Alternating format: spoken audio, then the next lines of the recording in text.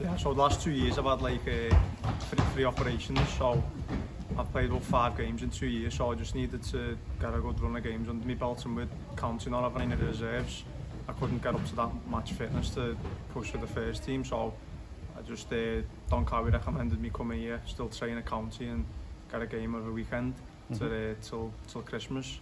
So, so that, and yeah, well that's, I mean, it's, it's, it's obviously you've got capacity to get a lot of, lot of football between now and Christmas, haven't you? Yeah, that's the plan. So, uh, no, just keep ticking off the games, game by game, and then hopefully the second half of the season, then I can start pushing for get back in the county team.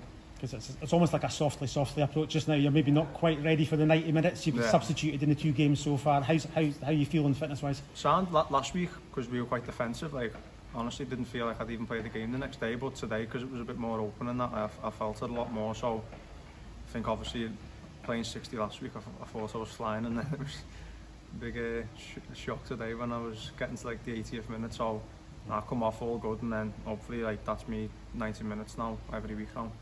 It's a very different different uh, level of football to Premiership. It's uh, obviously it's it's a good standard of football in League Two. Really, it's quite it's quite a tough league, and it's um, there's nothing to sort of really um, separate the teams in this division, is there? No, no. You see that last week when we go to Kelty and get a draw, and then we we get here today, but it's hard. I mean, the pitches, the pitches are hard. Like mm -hmm. trying to play on. There's a lot of astroturfs in the league and stuff. So, uh, hopefully we can start next week picking up points and start climbing the team. I know the, the lads have had two good seasons getting in the playoffs. So that's obviously what we want to achieve. Well, I'm only here till till Christmas, but I, I want to help them. Obviously, get as high as up as I can. So.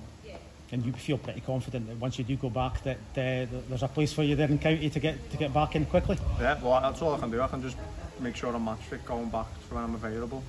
It's obviously up to the manager if, he wants to play me or not but all I can do is keep myself fit and keep playing. Well when the word gets back at you winning man of the match awards anyway that, that always helps a little bit anyway. Uh, don't think I was man of the match like I'll take it